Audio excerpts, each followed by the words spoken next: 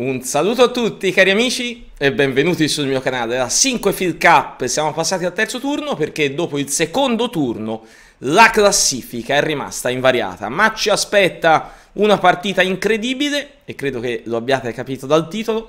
Di bianco il più famoso vice campione del mondo della storia, di nero il fortissimo, il preparatissimo olandese Anish Giri. E allora like al video e partiamo subito perché Nepo di bianco apre con D4, Anish Giri risponde con cavallo in F6, arriva C4 e poi E6 e il russo non si fa scrupolo di giocare cavallo in C3 e allora dopo alfiere in B4 siamo nella Ninzo indiana. Come la affronta Nepomniachtchi? Giocando E3 che è la variante principale Rubinstein. E allora Ghiri arrocca corto Alfiere in D3, linea principale, e qui arriva la prima sorpresa, perché Nepo con il pedone attacca subito l'alfiere. E allora alfiere per cavallo in C3 con scacco, il pedone B ricattura, C5, mossa largamente più giocata, sicuramente ottima. Scusate, sempre i postumi della bronchite, ma Ghiri ci mostra qualcosa di diverso. D6 che cosa fa? Controlla delle case importantissime. E adesso non solo la spinta C5 ma anche la spinta E5 nelle carte del nero in qualche modo si è anche liberato l'alfiere Campochiaro. E pensate questa D6 suggerita anche, anche dal computer nella pratica dal nero. Risultati migliori rispetto a C5 allora come continua Nepo con F3 quindi come nella Semish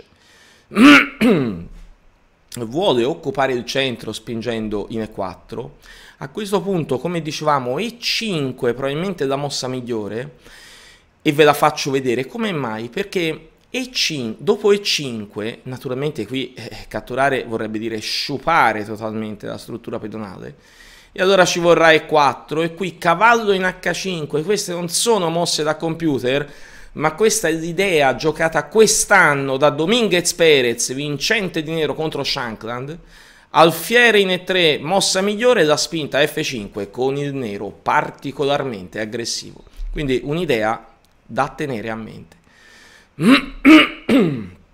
Scusate, dopo F3 invece cosa gioca Ghiri? Un'altra mossa ottima, lo sviluppo del cavallo in C6 e allora arriva E4 una sola, una sola, partita rimasta in database tra due giocatori titolati, vinta dal bianco lo scorso anno. Il nero aveva giocato E5. Rimane ottima l'idea di cavallo in H5. Invece arriva la novità di Ghiri, donna in E8. E dopo 8 mosse la partita diventa originale. Fuori di testa totalmente la risposta di Nepo che come vedete non ha ancora nessun pezzo sviluppato e non lo sviluppa neanche adesso perché spinge il pedone in H4. Nero sicuramente in vantaggio, B6 per giocare l'alfiere in fianchetto, arriva addirittura H5. H6 è giocabile e, e, forse andrebbe anche giocata, ma forse l'olandese viene spaventato dall'idea G4, G5. Allora gioca alfiere in A6, si inizia ad attaccare il più avanzato dei pedoni doppiati, torre in A2 per il trasporto della torre addirittura sul lato di re, cavallo in A5, il pedone cadrà. Arriva G4, donna in C6, connette anche le torri, torre in G2 e vi dico la verità, non ho mai visto a tempo lungo una ninzo indiana del genere. E allora alfiere per pedone e qui si minaccia di catturare ancora e allora alfiere per alfiere la donna ricattura, attacca il pedone con scacco, cavallo in E2, lo protegge e se non altro libera anche la seconda torre. E allora cavallo in D7 evita che G5 arrivi con tempo, ma G5 Nepo la gioca lo stesso e arriva E5. La risposta al centro è la risposta migliore contro un attacco su un lato, Nepo va a spaccare tutto. Mossa da biliardo. G6 Pensate, c'è una sola mossa. Guardate la barra, nero in vantaggio, ma c'è una sola mossa che lascia Ghiri in vantaggio e ve la faccio vedere. Questa mossa è H6 non giocata dall'olandese in partita, come mai non l'ha giocata? Gli ha fatto paura il sacrificio. alfiere per pedone, il pedone ricattura, donna in D2, ma arriva re in G7, il pedone cattura scacco di scoperta, il re si sposta, la donna cattura in H6 ed invade, ma guardate che succede?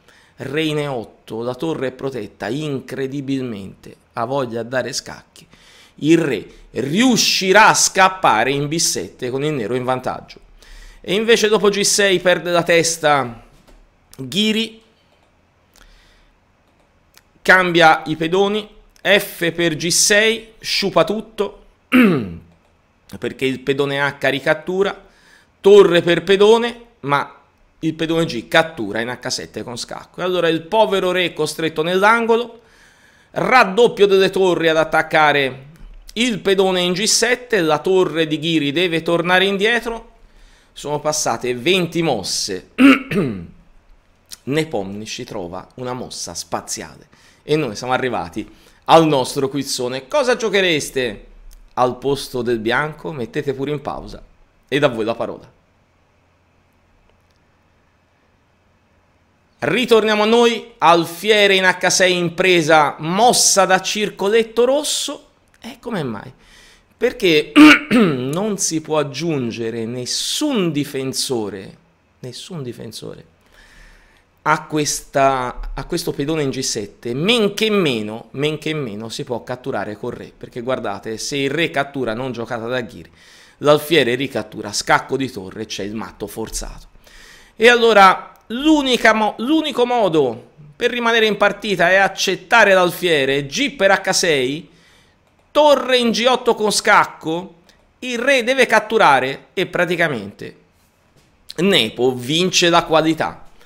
La continuazione più corretta in questa posizione quale sarebbe? Sarebbe donna in C6 che attacca la torre perché ricordiamoci pezzo sospeso in territorio avversario è sempre un bersaglio tattico e dopo torre in C8 per attaccare il pedoncino e qui gli, gli vuole spaccare la struttura pedonale donna in B7 idea migliore raddoppio delle torri e adesso sì e adesso sì donna che cattura al centro torre in H8 con scacco, range 6, di nuovo scacco e qui non si può rischiare di farsi spaccare tutta la struttura, bisogna ritornare indietro, sperare nella patta, naturalmente la torre non può catturare perché sta proteggendo l'altra torre, probabilmente si andrà avanti con lo scacco perpetuo. Invece che succede? Succede che Ghiri gioca cavallo in F6 e questa mossa è sicuramente sbagliata, guardate come ne approfitta Nepo, di per E5, e, e qui si può catturare? No davvero, tant'è che Ghiri non lo farà, perché dopo donna in D8 il matto è forzato. E allora il cavallo cattura in E4, donna in C1, eh, e ora?